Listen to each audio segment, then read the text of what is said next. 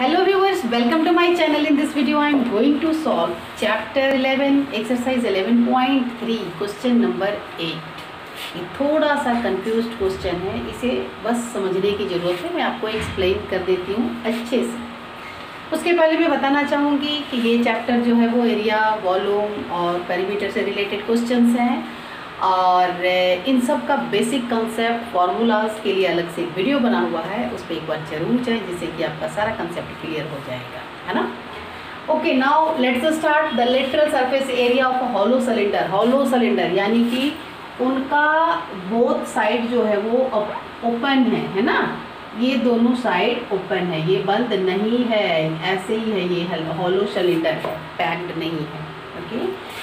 ये hollow cylinder है। इनका एरिया जो बताया जा रहा है, वो four thousand two hundred twenty four centimetre square हैं। इनके लेटरल सरफेस एरिया की बात हो रही है। यानी कब सरफेस एरिया ये इस तरीक़ा से बना होगा और इनका जो कब सरफेस एरिया है, वो four thousand two hundred twenty four centimetre है। यानी एक पाइप है। बेसिकली कर लो तो एक पाइप है ना? उसे मैं ऐसे बोल दूँ तो भी काम चलेगा ये हो गया। क्या हो गया? एक पाइप है ना? हॉलो पाइप है। ना इसका ये भी ओपन है और ये भी ओपन है ओके अगर फिर उसके बाद हो रहा है it is cut along its height and formed और रेक्टेंगुलर शेप इसके हाइट से क्या करना है कि कट कर देना है? क्योंकि राउंड राउंड है तो इसे एक जगह से कट कर दो तो कैसा बन जाएगा, ऐसा बन जाएगा, है ना? रेक्टेंगुलर शेप ले लेंगे ओके ये मतलब यहाँ से कट करेंगे तो ये वाला पार्ट तो यही रह जाएगा, बाकी ये बाकी के जो है वो ऐसे ओपन हो जाएँगे तो ये रेक्टेंगुलर शीट बन जाएगा। ऑफ़ ब्रिथ यानी इसकी जो ब्रिथ है, वो 33 सेंटीमीटर है। अब यहाँ पे एक चीज़ ध्यान देने वाली बात है, इसे अगर ये कोई रॉन्ग चीज़ है, अगर मैं सपोज़ दैट एक ले करके समझाने की कोशिश करती हूँ।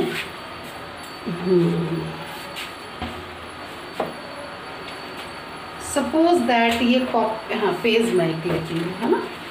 और ये मैंने इसे हॉलो सिलेंडर का रूप दे दिया, है ना? इसे मैंने हॉलो सिलेंडर का भाई थोड़ा सा पूरे परफेक्ट तो नहीं आएँगे बट मैंने इसे एक हॉलो सिलेंडर का रूप दे दिया है ना ये हॉलो सिलेंडर बन गया। अब हम क्या करेंगे इसे? ये हाइट है ये हमारा हाइट है। इसे हाइट से क्या करेंगे? वर्टिकल कट कर देंगे। जब कट कर देंगे तो देखो ये ऐसा बन जाएगा है ना? चलो ऐसे लेती हूँ। हम्म, हम्म। ये रहा। अब ये परफेक्ट बने, है ना? और ये है हमारा होलो सिलेंडर और इसे अगर ऐसे कट करेंगे तो ये क्या हो जाएगा? ये पन हो जाएगा ये हाइट जो है, आप देखना, ये ब्रिथ बन जाएगा, है ना? ध्यान से देखना। ये देखो, ऐसे खुला, है ना? तो ये लेंथ बन गई, इनकी जो कॉप सरफेस एरिया थी, वो लेंथ बन गया, और हाइट जो था, वो ब्रिथ हो गया, है ना? ओके यही चीज़ समझाने की कोशिश कर रही थी मैं। हम्म। तो ये ब्रेथ हो गया।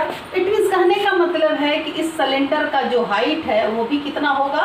33 सेंटीमीटर जो कि इस रेक्टेंगुलर सीट का है 33 सेंटीमीटर कुछ रिलेशन है इसलिए मैं इसे बार बार एक्सप्लेन कर रही हूँ। Find the perimeter of rectangular sheet उस रेक्टेंगुलर सीट का हमें पेरीमीटर फाइंड करनी है। ओके तो फाइंड करेंगे।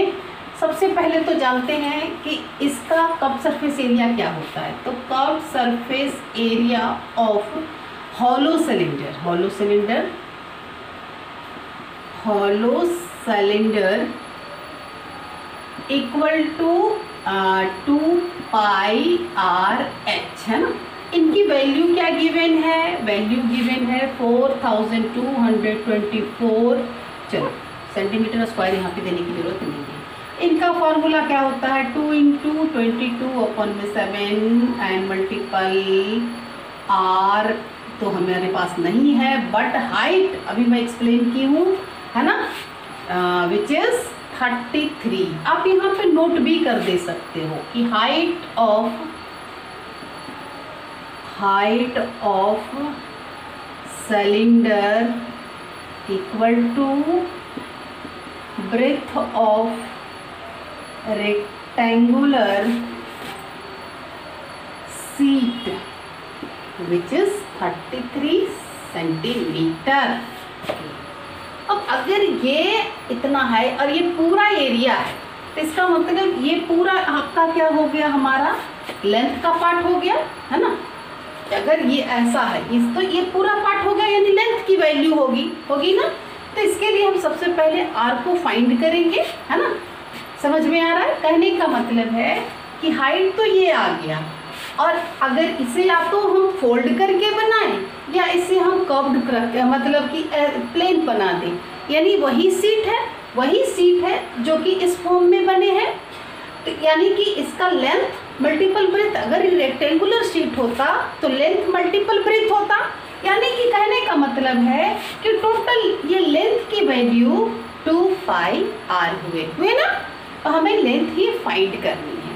तो जब तक, तब, हम लेंथ तब तक नहीं फाइंड कर सकते हैं जब तक कि हमारे पास रेडियस नहीं होगा।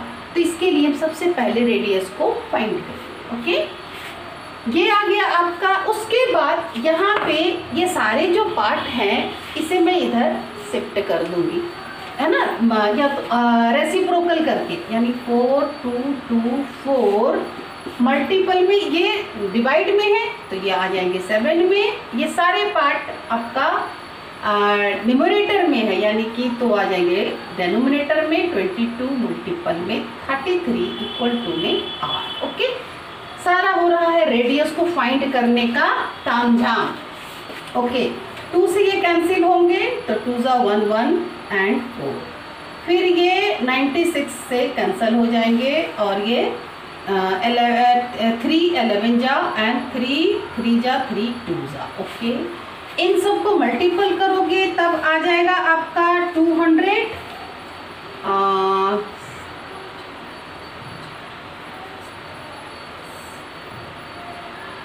two hundred twenty four upon में एलेवन ये आ गए रेडियस ओके हमें लेंथ फाइंड करना है। तो लेंथ इक्वल टू क्या हो जाएगा? अभी मैंने बताया ना कि लेंथ की वैल्यू ये होगी तो length of rectangular sheet equal to two pi R है ना? टू पाई आर ही होंगे? आर ऑलरेडी हमारे पास टू चलो मैं नीचे करूँ। Two multiple twenty two upon में सेवन मल्टीपल ये आ गए आर की वैल्यू इधर है twenty two hundred twenty four upon में एलेवन अब एलेवन से टू ज़ा एंड ये कैंसिल हो जाएँगे सेवन थ्री ज़ा एंड सेवन टू इन सबको जब मल्टीपल करोगे तो आ जाएँगे वन ट्वेंटी एट अब हमारे पास लेंथ भी है और ब्रेथ भी है। मैं इस फिगर को रब कर देती हूँ। जिससे कि हमारा सॉल्यूशन के लिए प्लेस हमें मिल जाए। ओके पेरीमीटर फाइंड करनी है तो perimeter of rectangular sheet equal to two into L plus में बी लेंथ भी है हमारे पास और ब्रिथ तो ऑलरेडी गिवेन है। Two into one twenty eight plus में थर्टी थ्री इन दोनों को प्लस करोगे तो वन सिक्सटी वन आएँगे। और जब इन दोनों को मल्टीपल कर दोगे तो three hundred twenty two centimetre आएँगे। सेंटीमीटर में है दैट्स वाई आंसर भी हमारा सेंटीमीटर में होगा। अगर मीटर में होता तो आंसर हमारा जो है वो मीटर में हम लिखते। तो इस तरीका से हम फाइंड किए किस तरीका से सबसे पहले हमें समझना होता है कि सेमी फिगर को कैसे ओपन किया तो वो रेक्टेंगल फॉर्म में आ गए। आई होप सोल्यूशन समझ में आ गया होगा। प्लीज़ चैनल को सब्सक्राइब कर बेल आइकन को दबा दे लाइक और शेयर करना ना